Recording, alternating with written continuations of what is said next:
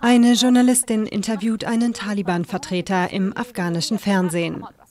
Mit dieser Szene wollen die Islamisten Befürchtungen zerstreuen, Frauen hätten künftig nichts mehr zu sagen unter ihrer Herrschaft. Wir sind an die Scharia-Gesetzgebung gebunden, die den Frauen Rechte einräumt. Unsere Schwestern und Mütter bekommen die Rechte, die Gott für sie vorgesehen hat. Frauen sind Teil der Gesellschaft. Frauen werden in vielen Bereichen arbeiten, wenn das der Scharia entspricht. Sie werden im Bildungs- und Gesundheitsbereich arbeiten und eine aktive Rolle in der Gesellschaft spielen.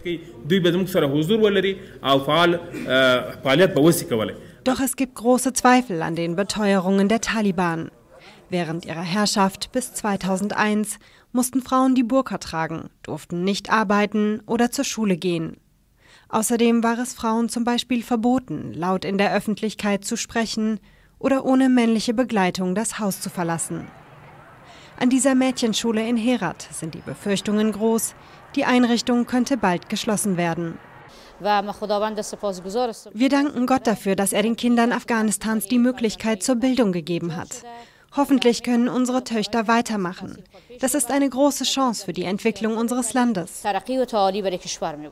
Andere Ankündigungen der Taliban haben sich bereits als Lippenbekenntnisse erwiesen.